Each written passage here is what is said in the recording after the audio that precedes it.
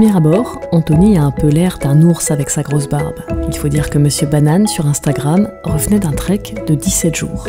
Mais en fait, c'est un vrai gentil qui a fait de sa passion pour les longues marches un mode de vie. Le respect de l'environnement va avec le respect de l'hygiène du voyageur, car pour aller loin, il faut ménager son corps. Un podcast à la propreté irréprochable proposé par Festnet.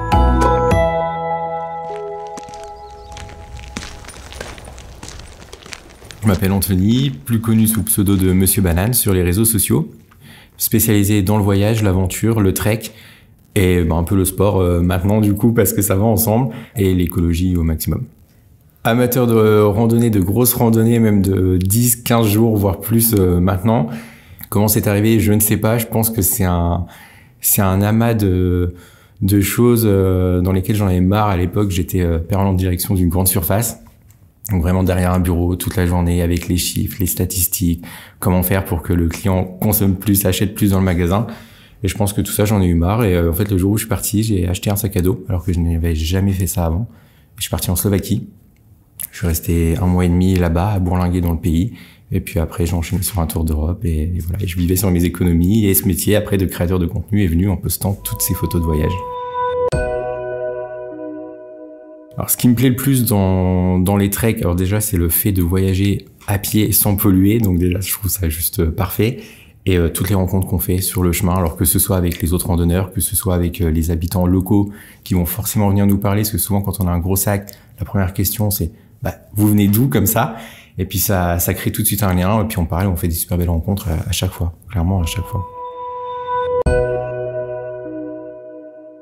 Alors l'hygiène en randonnée, ouais, c'est une c'est une grosse question. Au début, j'étais pas euh, bah, prêt à tout ça parce qu'au final, c'est à force de voyage qu'on se rend compte euh, bah, des choses, des erreurs et puis aussi de la société qui évolue et des choses qu'on apprend. Au début, je partais avec euh, des produits classiques, j'ai envie de dire, j'ai le douche shampoing que monsieur et madame tout le monde ont chez eux, ce qui n'est pas du tout recommandé en trek parce qu'au final, la mousse dans l'eau quand on se lave pour les poissons, c'est pas c'est pas l'idéal, hein, soyons honnêtes. Donc non, c'est hyper important et je trouve que c'est encore plus important justement en trek parce que quand on part pendant 10 jours, 15 jours, on n'a pas de douche avec nous. Donc on ne peut pas se laver vraiment comme on se lave chez soi, donc on est forcément sale, on transpire toute la journée à marcher. Il y a les frottements des vêtements qui vont créer des irritations, avec la sueur en plus. Il y a forcément des, des saletés, des dépôts de la terre parce qu'on se met assis par terre, etc., qui vont pénétrer sous les vêtements, ça c'est inévitable il y a les petites bêtes, les tiques et compagnie. Donc euh, non, c'est important de, de, de, bien se laver le plus possible en trek, que ce soit euh, bah, dans la rivière, dans un lac euh, ou dans la mer, comme sur ma dernière aventure. J'avais avec la mer, c'est pas l'idéal parce que c'est salé, mais il faut se laver. Il faut se laver parce que ne pas se laver en trek, à la fin du trek, je garantis pas une petite infection ou un petit problème ou des petits champignons quoi. Pour me laver en trek, ce que j'utilise le plus possible, c'est euh, des pains de savon, euh, du coup dur et euh, bio au maximum, que des ingrédients d'origine naturelle, des savons qui ne moussent pas, et puis bah hein, lavage classique comme comme si on était dans une douche, mais sauf qu'on est dans une rivière et que bah, n'importe qui pourrait nous croiser, j'ai envie de dire, et c'est arrivé plusieurs fois. Alors bah, le, le, pain que j'ai, il fait euh, corps et corps et shampoing, justement pour éviter d'avoir trop de poids dans le sac et d'avoir deux pains, c'en est un qui fait tout en un. Et sinon, il y a un truc qui est super pratique aussi et qui pèse rien, c'est les feuilles de savon. Les petites feuilles de savon, c'est dans des petites boîtes euh, qui font la taille, euh, il doit faire 3-4 cm maximum. C'est ultra léger, souvent il y a 50 feuilles dedans. C'est plutôt pas mal, ça fonctionne bien. Par contre, à partir du moment, si on fait tomber une goutte d'eau dedans, c'est fini, le produit il est mort. Donc c'est le, c'est le petit hic de ce produit-là, mais euh, sinon ça, ça, fonctionne trop bien. À la fois pour euh, le corps, les cheveux, et ça existe aussi pour euh, laver le linge. Et ça justement, je l'utilise. Alors pour se laver les dents, ça, c'est, c'est évolué avec le temps. Pareil, au début, j'utilisais un dentifrice classique, ce qui n'est pas forcément recommandé, puisque le dentifrice, malheureusement, on ne peut pas encore l'avaler, donc on est quand même obligé de le recracher dans la nature. C'est pas ce qu'il y a de mieux. Pareil hein, pour les animaux. Donc avec le temps, je suis parti sur des dentifrices, pareil, bio, ingrédients naturels au maximum. Et quand on le crache, ce que je conseille, c'est de prendre un peu d'eau et de le diluer justement pour pas qu'un animal vienne là, vienne lécher et vienne ingérer euh, bah, quelque chose qui est pas forcément le plus agréable en bouche et qui peut peut-être lui boucher quelque chose. Je sais pas parce que je suis pas expert en animaux, mais je pense pas que ce soit bon justement euh, de laisser ça comme ça par terre. Aller aux toilettes, ça c'est vrai que c'est la grande question. Et quand j'embarque des gens avec moi à l'aventure, bah, ils ont pas l'habitude Et il me pose toujours la question, mais les toilettes, ça va se passer comment? Bah, ça se passe derrière un arbre, derrière un rocher, caché, mais ça se passe bien. Donc, euh, utilisation d'un papier toilette, euh, enfin classique, euh, sec, bio, pareil, biodégradable au maximum. Même si c'est mieux, et ça j'en parlerai, de ne pas laisser son papier comme ça dans la nature traîner. Et puis, euh, bah, papier toilette humide, justement, pour venir nettoyer tout ça après. Parce que justement, comme on en parlait, on n'a pas de douche. Donc si on se nettoie rapidement avec un papier sec, qu'on n'a pas de douche, et admettons on marche en trek, et on se retrouve pendant deux ou trois jours, c'est déjà arrivé, sans point d'eau pour se laver, c'est pas top. Donc il faut avoir quand même son papier toilette humide pour venir euh, bien nettoyer tout ça, parce que bah, c'est important, quoi. C'est l'hygiène intime, euh, clairement, euh, faut, faut nettoyer tous les jours et pas qu'une fois par jour, surtout en trek. Alors le papier, une fois qu'on a fait ses besoins, ne pas le jeter dans la nature, dans le sens où euh, souvent les chemins de randonnée, ils sont empruntés par beaucoup de randonneurs. Les chemins euh, les plus connus, les GR, c'est encore pire. Limite, on est à la queue leu. Si tout le monde jette euh, son papier dans la nature, on se retrouve clairement avec bah, des spots remplis de papier rempli de caca. et on n'a pas envie de voir ça en tant que randonneur. On n'a pas envie non plus de tomber euh, sur les déjections des gens. Donc euh, l'embarquer avec soi dans un sac poubelle. Personnellement, à chaque fois que je voyage, j'ai euh, un rouleau de petits sacs poubelles, donc petit classique de salle de bain, et je mets tout dedans. Donc ça veut dire mes papiers toilettes, je les embarque avec moi. Prochaine poubelle, ils vont dans la poubelle. Et même au-delà du papier toilette, tout, même les pots de bananes, les tout, ce qui est organique comme ça, où on se dit c'est biodégradable, c'est biodégradable. Mais le problème, c'est que si tout le monde le jette dans la nature, ça va pas se désintégrer en une heure. Donc, euh, on se retrouve sur des chemins qui sont euh, pollués. Euh, non, faut tout embarquer, toujours. Toujours, toujours. Et pour les toilettes, il faut savoir qu'il y a des sites comme Refuge Info qui sont ultra pratiques et qui donnent beaucoup d'informations, que ce soit sur les refuges, les points d'eau, mais aussi les toilettes, parce qu'il y a de plus en plus à proximité des refuges en montagne des toilettes sèches qui sont installées ou classiques parfois dans des petits villages et c'est vrai que pour les gens qui sont pas à l'aise à faire leurs besoins dans la nature, c'est toujours bien d'aller euh, checker ce site-là et des fois ça dépanne bien. Personnellement, j'utilise quasi que des vêtements en laine de mérinos. Donc déjà, il n'y a pas d'odeur de, transpiration. Ça, c'est quand même un plus quand on, quand on marche 10, 11 euh, heures par jour. Et surtout, on peut les garder pendant 3, euh, 4 jours. Ça va rien sentir. Donc ça, c'est top, histoire de pas avoir, bah, si je pars 17 jours, 17 t-shirts, c'est pas faisable. Donc, faut quand même laver ses vêtements en cours. Là, il y a des petites feuilles de savon euh, dont je parlais qui sont ultra pratiques. Pour laver, euh, il en faut une seule pour, euh, aller, on va dire, trois ou quatre vêtements. Ça va faire l'affaire largement.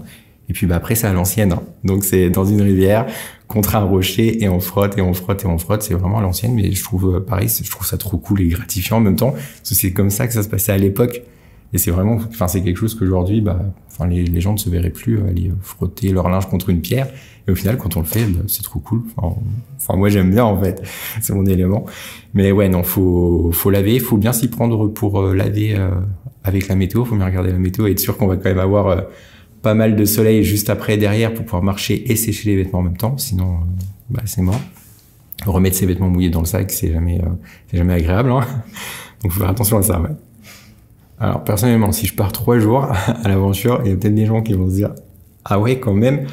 Euh, les seuls vêtements qui vont être à l'intérieur de mon sac, ça va être euh, chaussettes et euh, sous-vêtements de rechange. Et c'est tout. Donc il y en aura trois, il n'y en aura pas plus. Il y aura pas d'autres vêtements. Je vais partir bah, en fonction de la météo sur trois jours. Ça risque pas de changer du tout au tout. Enfin, après, ça dépend des zones. Mais sinon, mes seuls vêtements, ça va être ceux avec lesquels je vais partir. Donc j'aurai un pantalon, un t-shirt sur moi, bah, si c'est en automne, j'aurais peut-être un petit, euh, un petit polaire euh, en plus. Mais c'est tout dans le sac, vraiment, juste sous-vêtements, ça sert à rien, on n'est que trois jours, ça sert à rien de faire un concours de mode avec trois t-shirts. Inutile. Euh, si c'est en été, pas besoin de prendre une toile de tente. Quitte à faire, autant prendre juste un hamac. On se charge pas trop, ça pèse 400 grammes, c'est pratique. Bah après réchaud, popote hein, pour le gaz pour manger, c'est ce qui va au final sur un trek de trois jours être probablement le plus lourd. Et puis, bah, on n'a rien besoin de plus, hein, ces petits produits d'hygiène et, c'est tout, rien de plus dans le sac. Donc là, on va être sur un sac qui va faire, euh, aller euh, entre 3 et 5 kilos avec la nourriture, parce que forcément, il faudra prendre la nourriture et l'eau, mais c'est tout. Et encore, l'eau, on peut la trouver. Donc, euh, grand max 5 kilos pour 3 jours, grand max 5 kilos. Enfin, si je fais le comparatif, Là, je reviens d'un trek de 17 jours en Corse. À l'intérieur de mon sac, j'avais 5 paires de chaussettes, 5 boxers, 3 t-shirts, un peu l'air et un short de rechange au cas où que le mien euh, vienne à craquer ou quoi que ce soit. Mais les 17 jours, j'ai gardé le même short. Clairement le même short. Il y a juste un moment où on a été chez l'habitant, on a pu faire une lessive, je l'ai lavé euh, dans la nuit, c'était sec. Mais c'est tout. Ça sert à rien de, de, se charger. Et dans tous les cas, il faut penser que le poids du sac, une fois qu'on a fait son sac à dos, une fois qu'on le pèse, il faut qu'il fasse grand maximum 15% de notre poids.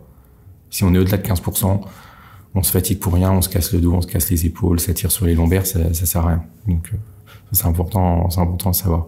Et toujours mettre les choses les plus lourdes centrées contre la colonne.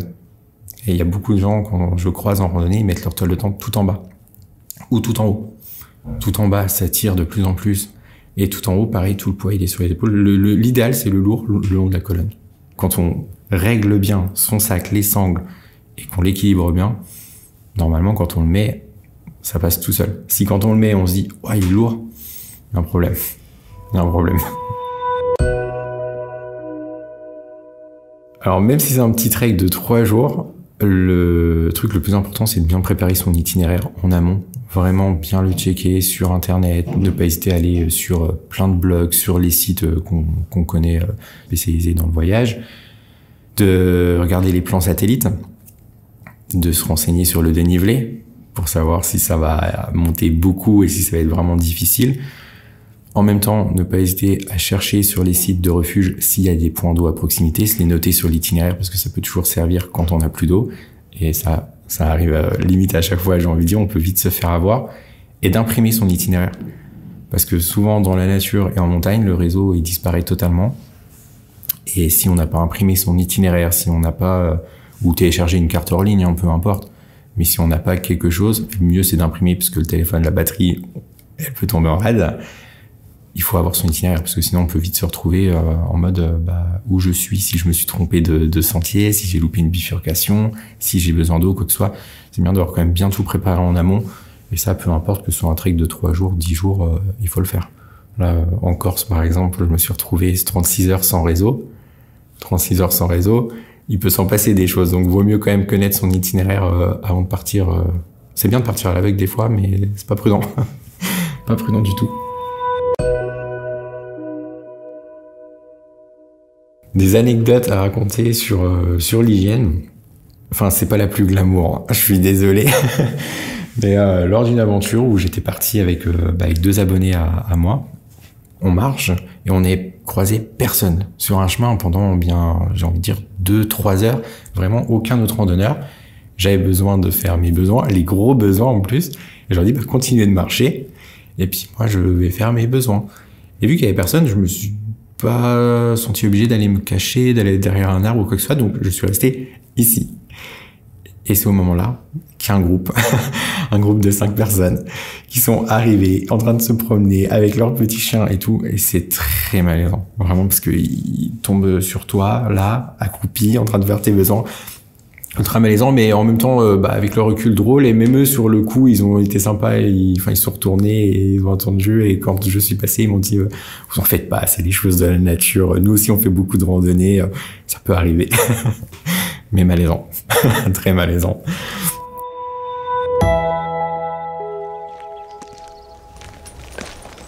Des bons plans rando à faire cet été ou même euh, en automne, euh, je vais en donner deux. Je vais donner un circuit qui est ultra facile, qui est accessible à tout le monde et même avec des enfants. Ça, c'est toujours bien et tout le monde peut le faire. C'est le Tour du Yonelaise. C'est en Bretagne. C'est très peu connu.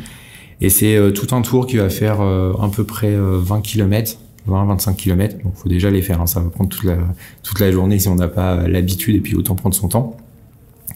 C'est un tour qui va passer euh, dans des marais des tourbières pendant très longtemps. On va être sur des petites euh, passerelles en bois. C'est magnifique. Les paysages, ça fait un peu penser à certains paysages du Seigneur des Anneaux. C'est très désertique. C'est, il y a une atmosphère particulière. Il y a cette couleur de la tourbière euh, qui donne, qui donne un, petit cachet au lieu, j'ai envie de dire. En faisant ce tour-là, on va monter au Saint-Michel de Braspar. C'est une petite, une petite chapelle qui est perchée en haut d'une colline. Et ça me fait souvent rire parce que tout le monde connaît le Saint-Michel, le Mont Saint-Michel classique euh, qui est en Normandie, même si les Bretons ne sont pas contents de ça. Mais justement, il y a ce Saint-Michel de Brasparts qui est en Bretagne et qui est tout aussi, euh, enfin c'est vraiment mignon à voir. Et quand on est en haut à cette chapelle, on a une vue justement sur tous les marais, la tourbière et tout un, grand réservoir naturel, il me semble, qui est juste magnifique. Et pas loin, il y a la forêt de Wellgoat. C'est une forêt qui est pleine de légendes. Enfin pour les enfants je trouve que c'est après voilà faut faut avoir aussi envie il faut aimer ce bah, tout ce qui est euh, en termes de, de mythes de, de légendes mais la forêt de donc euh, non c'est c'est sympa à faire. Ça c'est sympa à faire et c'est accessible à tout le monde c'est plat hein, à part pour monter au Saint-Michel de Braspar. Le reste euh, du circuit c'est vraiment plat de chez plat donc il n'y a pas de difficulté majeure. Et en tour par contre un peu plus difficile où là faut, euh, faut quand même être en, bonne condition, mais sur trois jours, ça se fait tranquillement. C'est la vallée de Chaudefour, en Auvergne. Je pense que c'est un de mes endroits préférés en France euh, en termes de, de randonnée trek. Et c'est tout un circuit, c'est une boucle qui va passer par le puits de Sancy, donc on peut faire l'ascension du puits de Sancy, qui est à mes yeux le plus beau sommet euh, en Auvergne. Et on peut se faire en même temps une petite nuit en refuge abandonné, si on a de la chance qu'il y a encore des places dedans, parce que c'est un peu premier arrivé, premier servi dans, dans ce cas de figure. On peut faire vraiment un, un trek ultra dépaysant pendant, pendant trois jours, vallée de Chaudefour en Auvergne. Ouais, c'est, c'est à faire. C'est à faire et c'est super beau. Et bivouaquer euh, au niveau du puits de Sancy en hauteur, avec euh, la chaîne des volcans au loin, les lacs, un coucher de soleil parfait, euh, il en faut pas plus. Il en faut pas plus pour être heureux.